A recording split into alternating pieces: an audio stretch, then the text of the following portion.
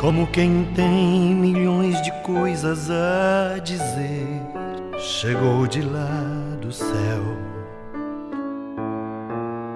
O Filho eterno e se tornou filho de mulher.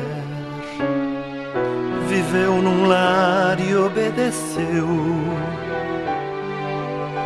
Por trinta anos se calou milhões de coisas ele tinha para dizer, mas esperou e escutou, dialogou, deixou falar.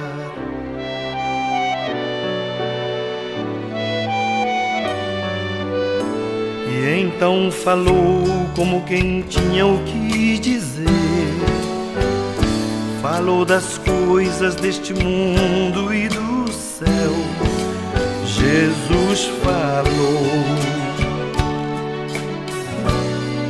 E eu ouço a sua voz a nos dizer que não estamos sós. Em cada curva, em cada canto, em cada estrada onde eu vou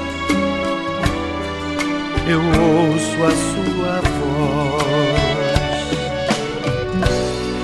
nas festas e na cruz, nas trevas e na luz. Eu penso em Jesus assim, no seu imenso amor por nós, no seu imenso amor.